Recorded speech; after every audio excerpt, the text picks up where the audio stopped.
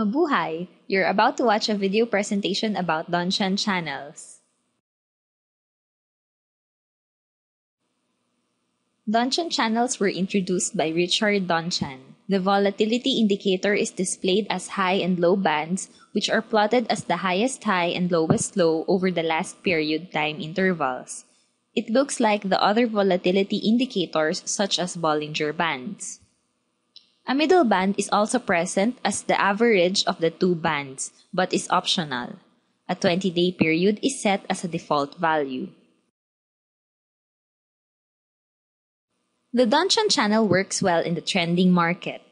It is usually employed to identify breakout prices. When the prices break outside the bands, a possible breakout might occur. On one hand, when the prices are moving within a channel, a possible reversal might occur. If a security traded or closed above the upper band or above the highest high, a long position is established. If a security traded or closed below the lower band or below the lowest low, a short position is established.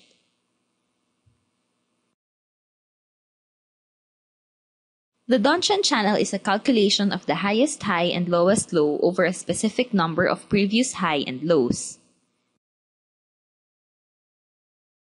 The example chart shows a price range followed by a breakout.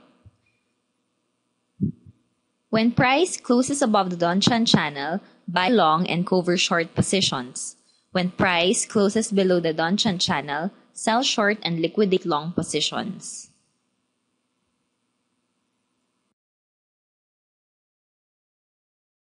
Donchian channel is different to Bollinger Bands because it employs a simple calculation using only the recent high and low prices rather than standard deviations or other indicators.